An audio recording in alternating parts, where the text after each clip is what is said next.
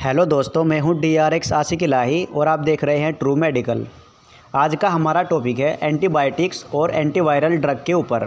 यानी एंटीबायोटिक्स और antiviral tablet में क्या फ़र्क होता है? कौन सी टैबलेट किस काम आती है? इसी के बारे में आज हम बात करेंगे। बहुत इंपॉर्टेंट टॉपिक है, बहुत ज़्यादा काम आने वाला है। तो सभी मेडिकल स्टूडेंट ध्यान से देखें और पूरी जानकारी लें। पर उससे पहले अगर आपने अभी तक हमारे चैनल को सब्सक्राइब नहीं किया है तो चैनल को सब्सक्राइब कर ले और बेल आइकन को भी दबा दे। क्योंकि हम सभी मेडिसिन को बहुत ही अच्छे तरीके से समझाते हैं। तो चलिए वीडियो स्टार्ट करते हैं। सबसे पहले हम बात करेंगे एंटीबायोटिक्स क्या होता है। एंटीबायोटिक्स ड्रग या एंटीबायोटिक टैबलेट, वो टैबलेट होती है जो बैक्टीरिया की ग्रोथ को रोकती है या फिर बैक्टीरिया की ग्रोथ को किल करती है। ऐसी टैबलेट को एंटीबायोटिक टैबलेट बोलते हैं। इसका काम होता है बैक्टीरियल इन्फेक्शन को ट्रीट करना।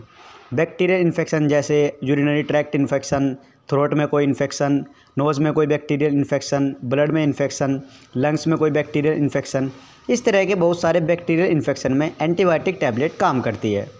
अब वो एंटीबायोटिक टैबलेट कौन सी होती है, वो भी मैं आपको बता देता हूँ। Like मासेप plus tablet Zifi tablet Ciplox tablet Norflox tablet इस तरह की बहुत सारी एंटीबायोटिक टैबलेट होती है, जो कि बैक्टीरियल इन्फेक्शन के ट्रीटमेंट में यूज़ की जाती है। अब हम जानेंगे एंटीवायरल या एंटीवायरस के बारे में। एंटीवायरल टैबलेट, वो टैबलेट होती है जो वायरस इन्फेक्शन को ठीक करती है।